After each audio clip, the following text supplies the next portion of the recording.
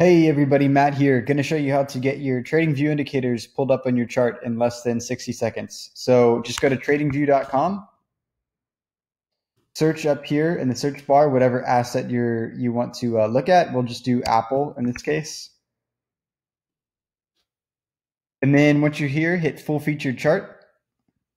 And then that'll pull up the chart. And here's where you're going to be doing all your work uh, in terms of the chart and the indicator and then just hover over here on the top where you see indicators. If you don't see indicators spelled out here, um, it might be crammed in here and it just isn't spelling it out for whatever reason. Just hover over some of these options until you find indicators and strategies.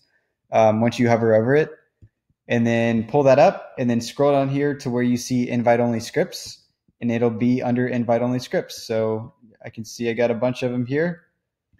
And once you click them, it'll just uh, add to your chart. It could take, you know, a couple seconds, but it'll add them to your chart and there you go. You're off to the races. So enjoy, happy trading. And I'll make some follow up videos on how to use TradingView and some of these tools over here. Um, I know it can be maybe a little overwhelming at first, but it's really not that bad once you get going on it. So anyway, guys, take care. Happy trading.